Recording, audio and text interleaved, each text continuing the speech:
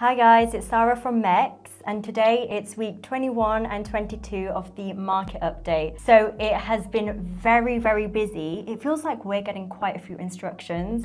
Some of the instructions we're getting now are coming from like 18 months ago. We had it valued then and they've called us now. They want us to go out. So two years worth of nurturing through our system, I think is shows that our marketing is working. We're staying in front of people's faces for a longer period of time. This week, we're just about to list the property, which person who owns it actually went to school with my little sister school. So this is like 20 years of nurturing. I'm um, looking forward to sell their home for them too.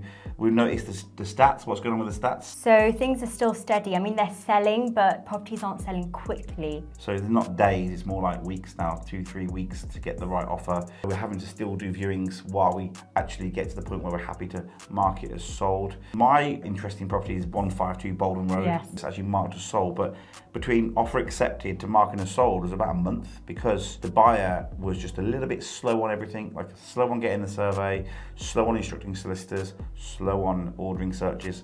They use their own lawyer. We try to help them and guide them, but that's not too far away now, is it? We're not far away from completion. No, searchers actually came back today, which is they great. came back. Hopefully no inquiries on that one. Hopefully, fingers crossed. I believe the market's plateaued. I feel like right now, people have just accepted the market's there. Things take a bit longer to sell. I believe that the listings coming on each week is the standard standard amount of listings coming on at the moment. So it's, it's not the graph's not really moving. And again, it's all about the value. Get the valuation right, you're gonna sell. But essentially, they take two three weeks to sell now. What's your favourite property? So mine's 18 Westcliff. I did pretty much most of the sales progression on this one when I joined. First ever sales property I oh, did. you came on at MECS, yeah. Yeah, so that was the 15th of March, and we're completing on Thursday, which I'm really excited about. Sub three months. Yes.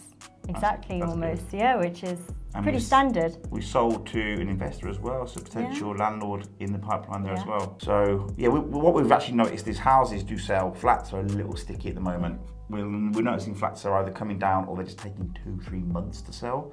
So if you're looking to sell a flat right now, you probably want to think long and hard about what price you go on at. Yes. If you go on with a really high price, you may not find a buyer that fast.